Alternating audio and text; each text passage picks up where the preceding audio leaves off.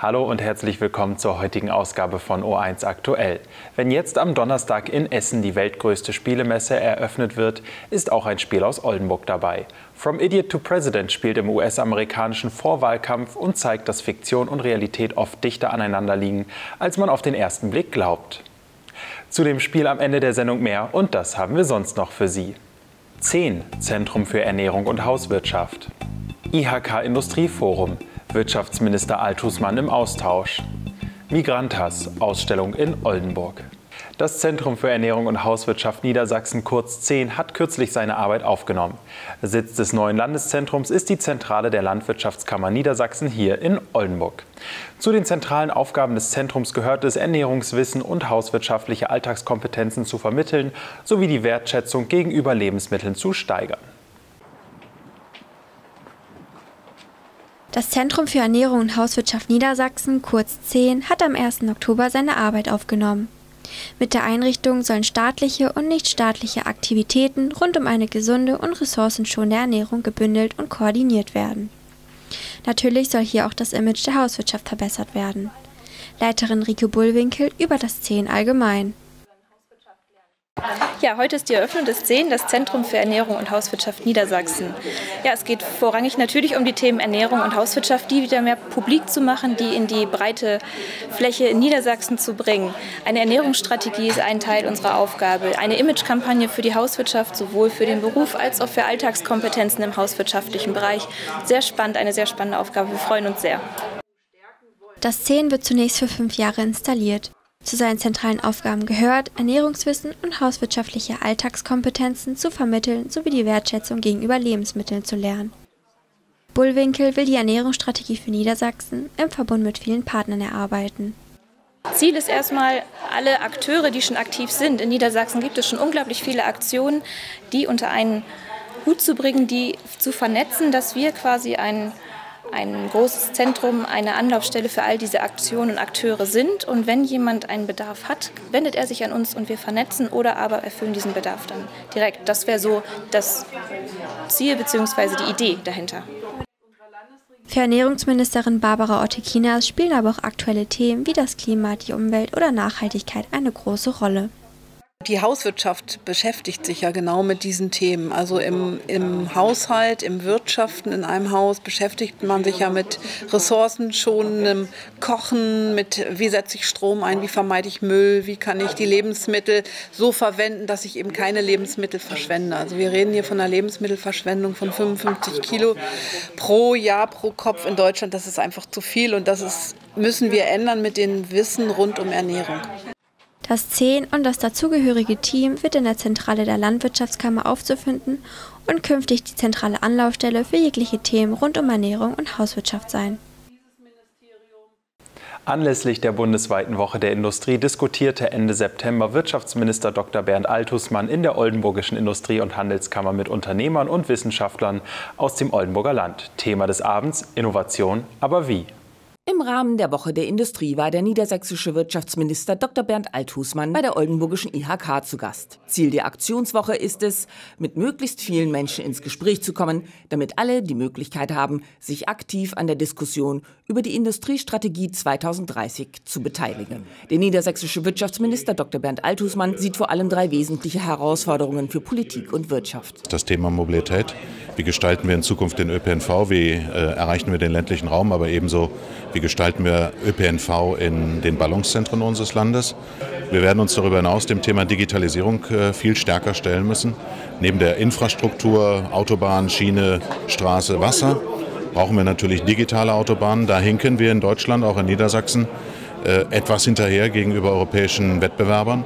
Und von daher müssen wir den digitalen Ausbau in Niedersachsen besonders äh, voranbringen. Äh, und natürlich die Frage des Fachkräftemangels. Was können wir tun, gezielt für den Mittelstand, für Handwerk, für Industrieunternehmen, um die Fachkräftesicherung zu gewährleisten? Dazu bedarf es eines geregelten Zuzugs von Fachkräften aus dem Ausland, aber ebenso das Heben von Potenzialen im Inland. Für Gerd Stucke, Präsident der Oldenburgischen IHK, ist der Erhalt und die Stärkung der Innovationsfähigkeit von Unternehmen ein wichtiges Thema. Der Nordwesten hat ja eine besondere Struktur, eine sehr stark mittelständische Struktur, auch im industriellen Bereich. Das ist für uns natürlich die Kernsäule unseres wirtschaftlichen Erfolges. Und äh, da stehen wir vor sehr großen Herausforderungen, vor großen Transformationen, die branchenübergreifend ist. Und äh, das ist jetzt unsere äh, Vorstellung, dass die Politik uns die Rahmenbedingungen gibt, dass wir diesen Transformationsprozess auch wirtschaftlich, sowohl ökonomisch als auch ökologisch auch gestalten können. Niedersachsen ist in den Augen des niedersächsischen Wirtschaftsministers prädestiniert, um Wasserstoffmobilität zu nutzen. Wir haben jetzt etwa ein Jahr daran gearbeitet, auch die Bundesregierung mit auf unseren Weg zu nehmen. Wir sind quasi das Land, was äh, für Innovationen der Zukunft steht. Wir können alle Wandel der Zukunft und Herausforderungen der Zukunft, die vor uns stehen, bewältigen, denn wir sind Windenergieland Nummer eins. Wir können grünen Wasserstoff produzieren. Und ich glaube, dass Wasserstoff der Rohstoff der Zukunft sein wird. Das wird eine Schlüsseltechnologie auch im Zusammenhang des Klimawandels sein und hängt sehr eng mit allen Fragen der Mobilität, ob im Schiffbau, im Bereich des ÖPNV, der Bus, Produktion in den nächsten Jahren bis hin zur Automobilproduktion. Neben der Elektromobilität ist Wasserstoff meines Erachtens eine der entscheidenden Technologien und äh, dazu bietet Niedersachsen zufälligerweise äh, alle Voraussetzungen wie kein anderes Bundesland im Übrigen.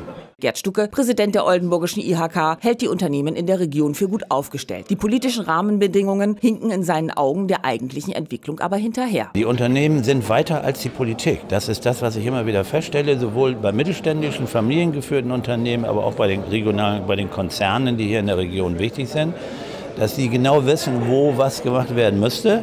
Aber bei der Politik dauert das zu lange. Das ist unser großes Problem. Wirtschaft ist startbereit, vorbereitet, aber sie kann nicht ohne gesetzliche Rahmenbedingungen umsetzen. Das ist eine ganz grundsätzliche Problematik, mit der wir uns befinden. Deshalb sind diese Gespräche mit der Landesregierung sehr, sehr wichtig. Wir sehen auch die Landesregierung als einen sehr guten und wichtigen Verbündeten für uns. Aber da spielen dann viele Rechtsgebiete und politische Ebenen eine Rolle, Landesebene, Bundesebene, europäische Ebene. Das alles zu harmonisieren, eigentlich ist ein sehr, sehr langwieriger Prozess. Nach unserer Auffassung dauert das alles zu lange. Migration hat viele verschiedene Gesichter, doch häufig bleiben Migrantinnen und Migranten mit ihren Lebensrealitäten, Gedanken und Erfahrungen unsichtbar. Deshalb kam auf Einladung des Amtes für Zuwanderung und Integration und des Gleichstellungsbüros das Künstlerinnenkollektiv Migrantas nach Oldenburg. Sie boten mehrere Workshops an, in denen sich Migrantinnen und Migranten aus verschiedenen Herkunftsländern über ihre Erfahrungen austauschen konnten. Das Berliner Künstlerinnenkollektiv Migrantas hatte Ende August sechs Workshops für Migrantinnen und Migranten angeboten, in denen rund 100 Teilnehmende aus verschiedenen Herkunftsländern mit unterschiedlichen Aufenthaltsstatus sowie kulturellem oder sozialem Hintergrund ihre persönlichen Erfahrungen und Wünsche in Zeichnungen und Bildern zum Ausdruck gebracht haben. Sozialdezernentin Dagmar Sachse erzählt, wie die Ausstellung zustande gekommen ist. Ähm, wir wollen ja heute eine Ausstellung eröffnen von äh, Kunstwerken, die Migrantinnen und Migranten gemacht haben, in denen sie in Bildern darstellen, wie sie ihr Ankommen in Deutschland erlebt haben, wie sie es in Bilder umgesetzt haben und am Ende sehr verdichtet haben zu einer sehr einfachen Bildsprache, nämlich Piktogrammen, glaube ich, die für uns alle sehr verständlich sind und nachvollziehbar sind. Ähm, und ähm, das ist wirklich ein super Kunstprojekt um auch mit Migrantinnen und Migranten stärker ins Gespräch zu kommen. Neben Fotos aus den Workshops werden die dort entstandenen Zeichnungen und die Piktogramme präsentiert. Die Ausstellung regt zur Auseinandersetzung mit den Themen Angekommen, Zusammenleben und Identität an und lädt zu einem Perspektivwechsel ein sind insgesamt über 260 Zeichnungen entstanden, die dann zu diesen 21 Piktogrammen geführt haben, die Sie hier in der Ausstellung sehen können. Und ich finde die in ihrer leichten Verständlichkeit, das ist ja auch sowas wie leichte Sprache, unheimlich berührend. Also wo Sie uns mitteilen, ähm, wo kommen Sie eigentlich her, was haben Sie überwunden, was haben Sie erleben müssen, aber auch bis hin dazu, dass es auch, dass wir Dinge in der Ausstellung sehen, was eint uns auch. Zum Beispiel, dass wir alle glauben, dass äh, äh unsere Zukunft Zukunft in der Hand von Kindern liegt, dass wir dafür viel tun müssen, dass wir in einer bunten Gesellschaft äh, leben wollen, dass wir Ausbildungswünsche haben, wo man merkt, uns verbindet auch viel und wir brauchen aber auch viel Verständnis, glaube ich, noch für die gegenseitige Situation. Unser Bildungssystem ist anders. Wir wollen gerne, dass Eltern sich da mehr beteiligen. Das ist erstmal fremd, aber darüber ins Gespräch zu kommen und dann aber tatsächlich gleichzeitig auch, es gibt auch Dinge, die uns verbindet ähm, und darauf dann auch aufzubauen. Natürlich gab es auch die Gelegenheit, mit den Künstlerinnen und den Teilnehmenden aus den Workshops ins Gespräch zu kommen. Eine Teilnehmerin beschreibt ihre Eindrücke und Erfahrungen. Ich war Sprachmittlerin, ich hab, war zum Übersetzen da an dem Donnerstagvormittag und ähm, für mich war das auch interessant, weil meine Eltern auch ähm, Kurden sind aus der Türkei und ich da auch was von mein, der Herkunft meiner Eltern aufmalen konnte und es war sehr interessant. Ich finde, es gibt viele Leute, die vielleicht nicht wissen, was so ein Mensch mitmacht, der vom, also als Flücht, geflüchtet nach Deutschland gekommen ist. Und ich habe selber ähm, nicht so viel gewusst darüber.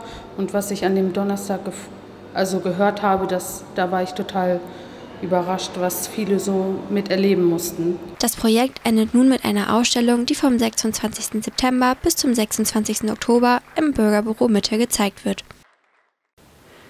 From Idiot to President heißt ein Brettspiel, das im amerikanischen Vorwahlkampf spielt. Es geht darum, so viele Bundesstaaten und damit die sogenannten Wahlmänner auf seine Seite zu bringen wie möglich. Ein bisschen Lobbyarbeit hier, ein bisschen Mauscheln da hilft. Fast wie im richtigen Leben. Erfunden wurde das Spiel hier in Oldenburg. Wenn man heutzutage was werden will in der Politik, und das gilt scheinbar wohl insbesondere für die USA, braucht man Geld. Geld, Lobbys und Unterstützung. Scheinbar kann jeder, der aktuelle Präsident macht es vor, das höchste Amt im Staat bekleiden. Präsident der Vereinigten Staaten von Amerika zu werden, ist also ganz einfach.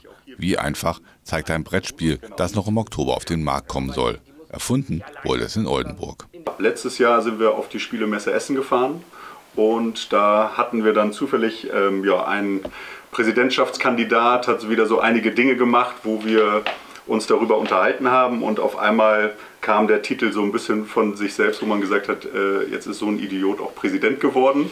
Und auf einmal haben wir uns angeguckt und gesagt, oh, From Idiot to President, das wäre doch mal ein schönes Spiel wo man einfach das ein bisschen plakativ und mit ein bisschen Humor und Witz, dass man wirklich da sagt, okay, eigentlich ist es egal, was man macht, Hauptsache, man kommt gut in die Medien, in die Schlagzeilen und dann kann man auch Präsident werden.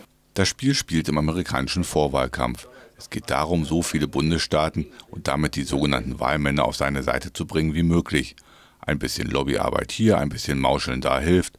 Und auch, wenn man sich nicht haarklein an das komplizierte Wahlsystem in den USA angenähert hat, Nichts ist so abstrus, als dass man von der Wirklichkeit nicht wieder eingeholt wird.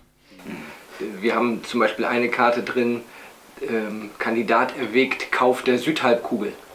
Und dass uns die Realität mit dem Kaufangebot an Grönland so schnell einholt, hätten wir, hätte ich nicht für möglich gehalten. Also es war, äh, klang, war sehr absurd gemeint, aber die, denn man, das Polittheater ist da also wirklich äh, ganz nah am Spiel. Aber wie entwickelt man überhaupt ein Spiel? Die Idee zu haben, schön und gut, doch damit ist das Spiel noch lange nicht fertig entwickelt und marktreif. Das Geheimnis hinter der Spielentwicklung ist also das Spielen mit vielen verschiedenen Menschen und in unterschiedlichsten Konstellationen. Wenn man so Hardcore-Brettspieler hat, so die haben einfach Spielmechanik im Blick und die haben halt wahnsinnig viel komplexe Sachen im Auge. Und so als Laie kommt man halt dazu und denkt sich, aber das ist ja eigentlich voll witzig hier, das und so. Und das heißt, das war, glaube ich, irgendwie auch eine, eine Qualität der Gruppe, die sich im Spiel auch niederschlägt dann am Ende. Also was mich bei den ersten Spielen schon ziemlich ähm, gegriffen hatte, war die Idee, so diese Spielmechanik mit diesem politischen Thema einfach zu verknüpfen. Und gerade, was wir auch schon vorher angesprochen hatten, also die Frage nach Lobbyismus und nach Geld und was macht welcher Kandidat wie und warum und mit welcher Partei äh, klüngelt er darum. Äh, das fand ich, hat sich eigentlich von vornherein sehr schön in diese Spielmechanik gefügt. Übrig geblieben ist nun eine Karte der USA, unterteilt in die Bundesstaaten, die als Spielbrett dient, viele Würfel, eine Spielfigur und sechs mögliche Kandidaten. Ausgehend haben wir versucht, die, die Wahlbevölkerung in sechs Wahlgruppen aufzuteilen, wo sich jeder irgendwo wiederfindet. Und zwar sind das die Demonstranten, die Flugreisenden, die Übergewichtigen, die Unterversicherten, die Steuerhinterzieher und die Nüchternen. Und von die, ausgehend von diesen äh, Wählergruppen haben wir dann passend Kandidaten dazu gesucht, die jetzt äh, zu dieser Wählergruppe korrespondieren. Das heißt, wenn ich, wenn ich spiele, dann kriege ich einen Kandidaten und ähm, habe eine Stammwählergruppe. Mhm. Und das sind dann zum Beispiel die Steuerhinterzieher. Und die folgen mir bedingungslos. Auf der Spielemesse in Essen Ende Oktober wird From Idiot to President offiziell vorgestellt. Die weltgrößte Spielemesse ist der Gradmesser für Neuerscheinungen. Und dann, wenn Donald Trump tatsächlich wiedergewählt wird, dann gibt es vielleicht bald auch eine Spielerweiterung.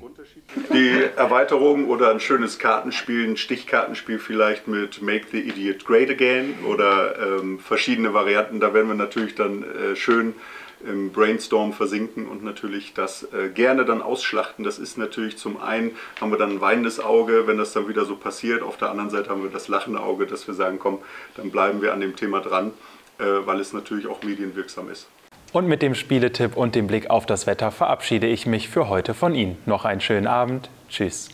Überwiegend bedeckt war es heute. Nach 17 Grad geht das Thermometer in der Nacht auf 11 Grad zurück. Der Dienstag bringt ebenfalls viele Wolken, 13 Grad sind es am Tag, 11 in der Nacht.